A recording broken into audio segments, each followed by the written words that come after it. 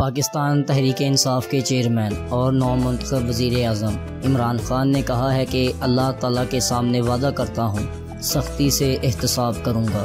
جنہوں نے قوم کا خزانہ لوٹا، انہیں معاف نہیں کریں گے۔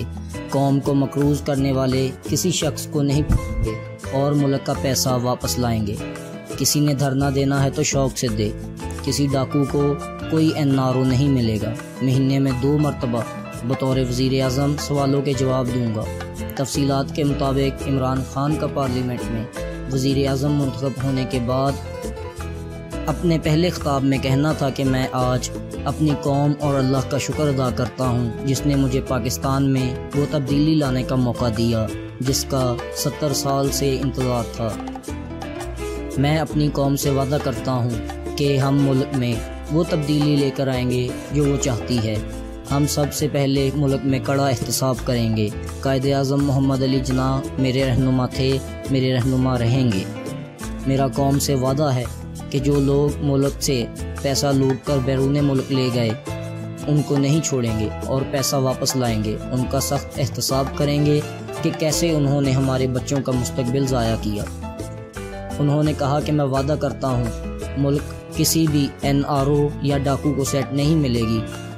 میں بائیس سال کی کڑی محنت سے اس مقام پر پہنچا ہوں۔ مجھے کسی ڈکٹیٹر نے نہیں پالا۔ مجھے کوئی سیاسی تجربہ نہیں ہے۔